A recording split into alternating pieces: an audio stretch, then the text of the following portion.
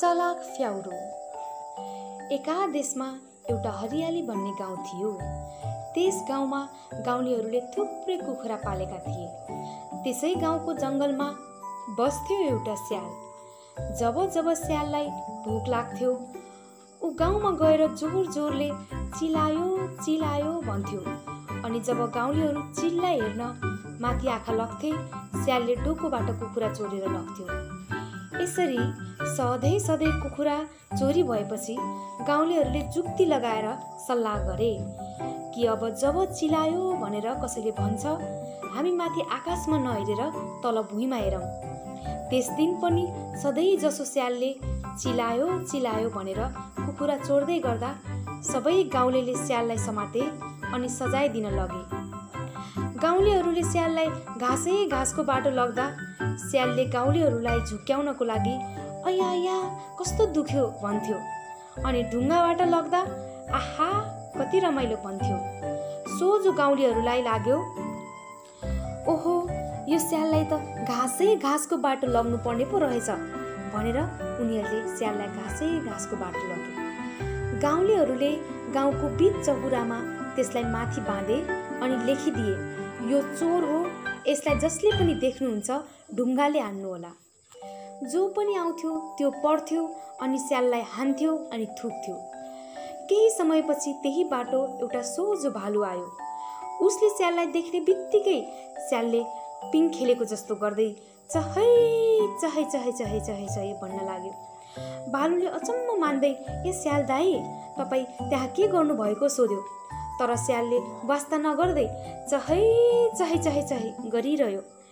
भालुले फेरि ए दाई ए स्याल दाई तपाईँ के गर्नुभएको भन्नु न भन्यो? उसले म पिङ खेल्दैछु के? मलाई डिस्टर्ब नगर्न भाइ भनेर भन्यो। त्यसपछि सोझो भालुले भन्यो दाई म पनि खेल्छु नि। स्यालले मौका पाइहाल्यो। अनि भन्यो मेरो यो हातमा बाँधेको डोरी फुकाइदे अनि म तिमीलाई यहाँ खेल्न दिन्छु। यसरी त्यो फा यसरी त्यो फ्याउरोले सोझो भालुलाई त्यहाँ बाँध्यो र आफू भाग्यो। चाँडै सबैले ढुङ्गाले हानेर भालुलाई मारे। भोकको स्याल जङ्गलमा खाना खोज्दै हिँड्न थाल्यो र उसले त्यहाँ मरेको हात्तीलाई देख्यो। मरेको हात्तीलाई उसले पछाडिबाट खान थाल्यो। खाँदा खाँदै फ्याउरो हात्तीको पेटभित्र पस्यो। गर्मी धेरै भएको कारणले होला हात्तीको मलदार बन्द भयो अनि फ्याउरो भित्रै अल्झियो। त्यही बाटो भएर एकजना ईश्वर र उनका सहकर्मी आइरहेका थिए। ईश्वरको सहकर्मीले हात्तीको पेटमा बुरुक बुरुक उफ्रिरहेको केही देखे। त्यो देखेपछि ती सहकर्मीले ईश्वरलाई भने ए ईश्वर हेर्नुहोस् त त्यो हात्तीको पेटमा के उफ्रिरहेको छ? अनि ईश्वरले भने ए हात्तीको पेटभित्र भएको मानिस को हो तिमी? त्यसपछि पेटभित्र भएको फ्याउरोले भन्यो त्यो स्यालले भन्यो त को हो। अनि उहाँले भन्नुभयो म त ईश्वर हो। त्यसपछि त्यो भित्रको स्यालले भन्यो म पनि ईश्वर हो। अनि फेरि ईश्वरले भन्नुभयो त कसरी ईश्वर हुन सक्छस्? म हो ईश्वर त। त्यसपछि फ्याउरोले भन्यो ऊ एकदम चलाक भएको कारणले गर्दा यदि तपाईँ ईश्वर हो भने खै पानी पराएर देखाउनुहोस् त। त्यसपछि ईश्वरले भन्नुभयो पानी परोस्। त्यसपछि पानी पर्यो। पानी पर्ने बित्तिकै हात्तीको मलद्वार खुल्यो। त्यसपछि त्यो फ्याउरो फुत्त बाहिर निस्क्यो। बाहिर निस्किएर एउटा गुफाभित्र लुक्यो।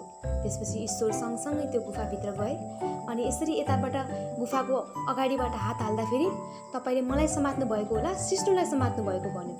त्यसपछि फेरि अर्कोबाट हात हाल्दाखेरि तपाईँले मलाई समात्नु भएको भन्नुभयो होला चिलाउनेको पत्तालाई समात्नु भएको भनेर भन्यो। ईश्वरले फुत्ता हात बाहिर निकाले त्यसपछि ईश्वरले भन्नुभयो यो चलाक फ्याउरोलाई अब म एउटा चप्किने रुख राखेर गइदिन्छु।